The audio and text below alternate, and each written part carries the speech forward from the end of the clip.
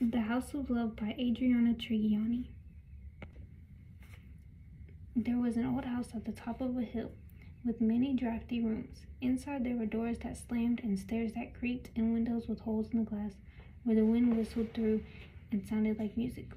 A tall oak tree grew in front of the yard and a sprawling holly tree in the back had plenty of branches for sitting. A big family lived inside. There were five girls, two boys, a mama, a papa, and a rescue dog named Phyllis. When everyone was home, the rooms exploded with conversation, laughter, and sometimes even an argument. Mia Valentina was the youngest. February 14th was her favorite day of the year because it was Valentine's Day, and her name meant My Valentine. Do you think the kids will be home in time for the party? Mia asked her mom. Absolutely, Mama assured her. What if Grace's game goes into overtime?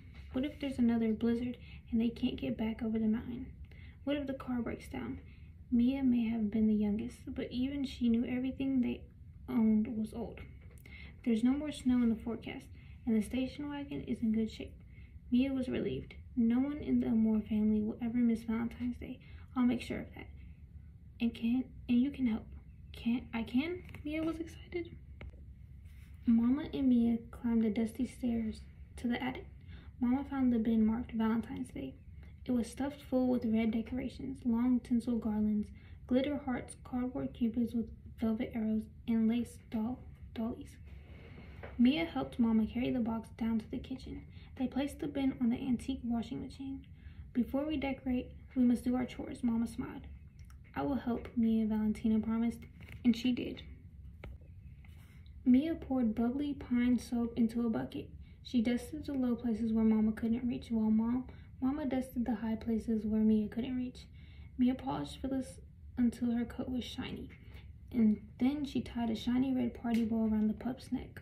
Mia watched as Mama washed the windows, careful to clean around the buttons of her daughter's hand had glued over the holes in the glass to keep out of the cold. Papa wants to get new windows someday, but I like the polka dots myself. Mama stood back and grinned. Me too, Mia agreed. The parlor was the saddest room in the house. Sweeping and polishing and buffing would not help it one bit. I really have to do something with this room, Mama said. Those stripes of faded brown wallpaper clung to the walls. May I finally rip it down, Mia Valentina asked. Yes, but be careful. You never know when when you will find a treasure in an old house, Mama said before she went upstairs to straighten up the bedrooms. Mia stretched and reached and pulled and peeled the brown wallpaper off the parlor walls. When she was done, she rolled a shard of the brown paper into a tube, turned it into a telescope, and spied through the holes like a pirate. Ahoy there, Mia, Ma, Mama said from the door as she looked around the parlor. Mia peered at her mother through the paper telescope. Mama looked like she was waving at her through the porthole of a ship. I knew you'd find a treasure, Mama beamed. A pretty wallpaper with hundreds of roses blooming inside. A white trellis had been hidden under the dull brown wallpaper all along. It's an inside garden, Mia marveled. You made it one.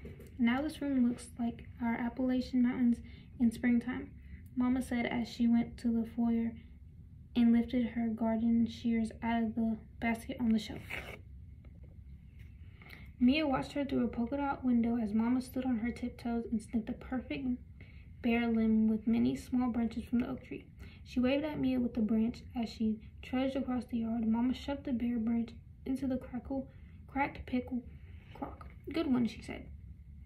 Mama stood on her tiptoes again. This time she pulled a bag of gumdrops from the shelf. She shrugged the red strung the red, orange, lavender, and green gumdrops with a sewing needle th threaded with gold.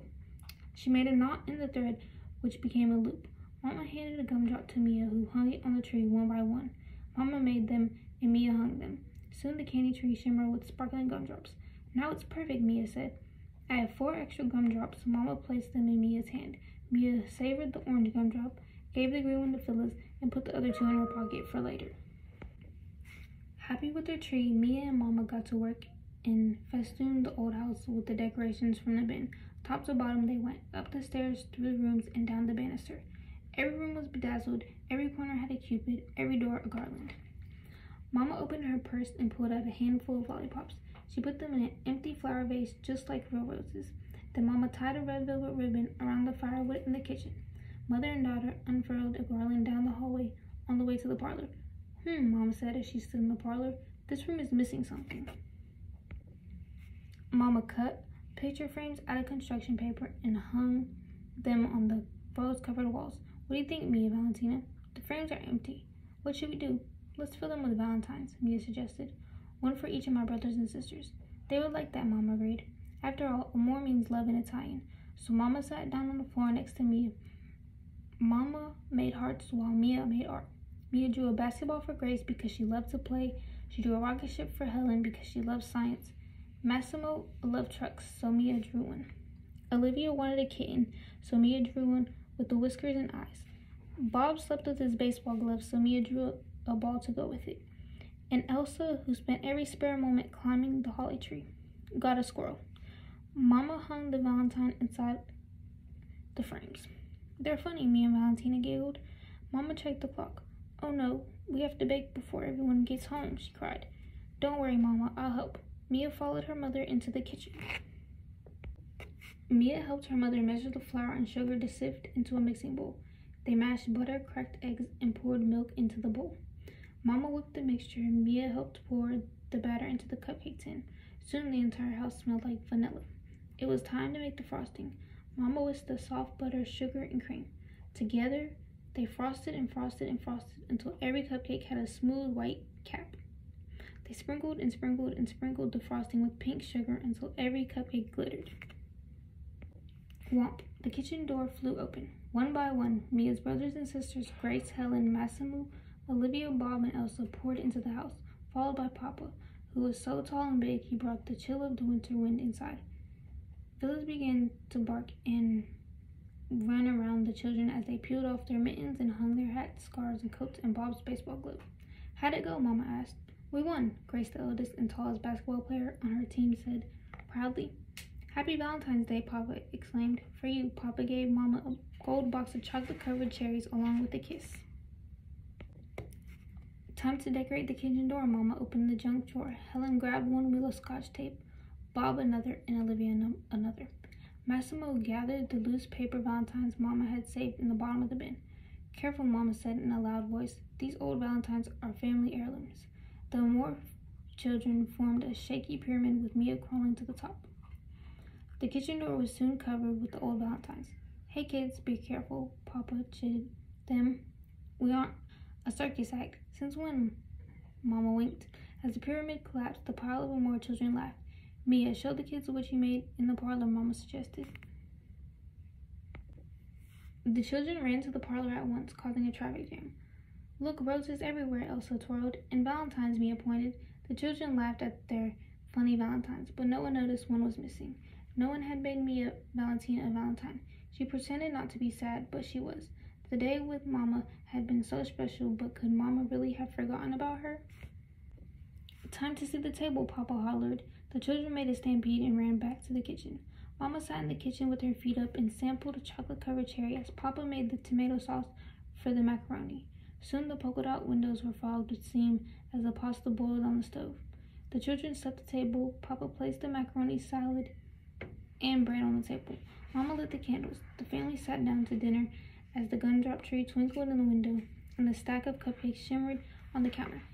Even though February 14th was Mia's favorite day, the Valentine party just wasn't the same. Phyllis nudged Mia from her place under the table as if she understood. After dinner and games, the seven Amore children took turns and stood at the bathroom mirror in their pajamas and scrubbed, brushed, and rinsed until they glistened. They hung their washcloths to dry on the antique tub with lion's feet. Mia Valentina climbed into bed. She sunk into the soft mattress like a spoon in vanilla cake batter when she heard a crinkle. She sat up and lifted the blanket, but there was nothing under it. She lifted the sheet. There was nothing there either. She lifted her pillow. There it was, a valentine just for her. Mia had not been forgotten after all. Tomorrow she'd ask Mama to make a frame, and she would hang it in the parlor of roses with the others. Phyllis jumped up into Mia's bed. Mia grabbed the last two gumdrops and gave it to Phyllis, the lavender one. She saved the red one for another day. Mia fell asleep with a smile on her face and her very own valentine in her hand. The house on the hill didn't have the best heat or the newest wallpaper or windows with smooth glass, but it did have a candy tree, seven children full of macaroni and cupcakes, and enough valentines to wallpaper the world. It only took one special holiday to make a house with stairs that creaked, doors that slammed, windows that whistled, and a parlor of roses become the house of love. And it turned out there was so much love inside that there weren't enough rooms in the old house to hold it.